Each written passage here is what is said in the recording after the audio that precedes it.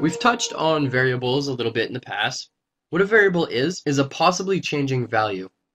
In many other language, you must declare a variable before using them. With JavaScript, you don't need to do that. We can create a variable anywhere, anytime. A variable's job is to store information. We can change this information anytime we like. We can copy it to another variable, we can remove it, or we can use it. Think of a variable like a small hard drive. It stores info. You can put info in it, remove the info, modify the info, and copy it to other hard drives. Now variables, like the rest of JavaScript, are in fact case sensitive. So variable, variable my name with all lower cases is not the same as variable my name with a capital M and a capital N. And I said earlier that in other languages we have to declare a variable. In JavaScript we do have to declare a variable, but not before using it. That's the main difference. So to declare a variable, you simply write var, which is variable. The name that you want, no quotations, is equal to, and then your value with quotations around it and end it with a semicolon. So let's break this down.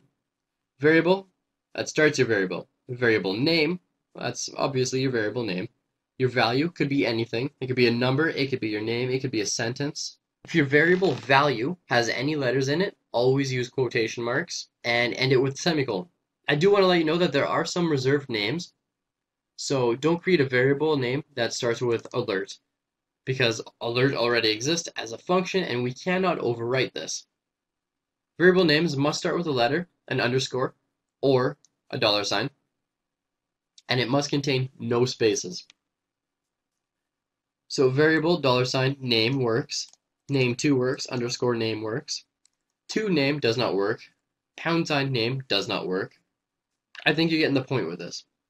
The equal sign is what connects your variable to the information, you can think of that like your spinal cord, how it connects your brain to the movement in your body. A value is the information that you're assigning the variable. Again, if it has any letters, always use quotations. If your value is just a number, you don't need to quote it. And this is pretty similar in most languages. So here we have 23, 23.5. Those don't need quotations because they're numbers. You can quotation it now all of a sudden your variable is not a number, your variable is a string, and this one has letters, or spaces even, so you're going to use the quotes. And again, end it with a semicolon, just like how we ended the declaration in CSS. Now, this might seem a little bit difficult at first, it really isn't though. It's like, I know, dare I say, algebra. Most people don't really like the whole algebra math thing. But you remember how x was equal to 15 and y was equal to 42 and you know so on and so on. That's pretty much the same thing we're going to do here. Now if you're going, oh man, I didn't really pay that much attention in school. Well, you don't really need to. Because we're not doing trig, we're not going to do calculus. The most math we do is basic math like addition, subtraction, multiplication, exponents, or in this case, exponents.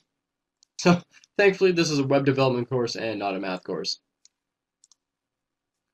we have two different types of variables. The first kind is a local variable.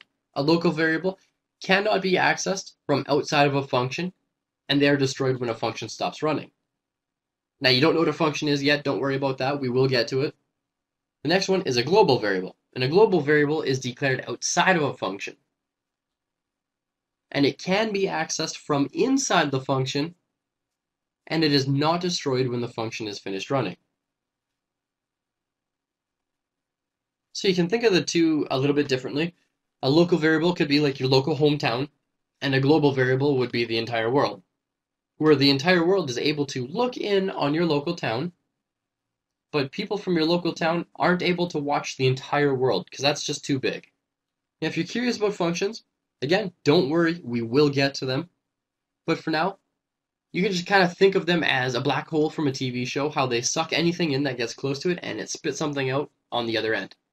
That's pretty much a function.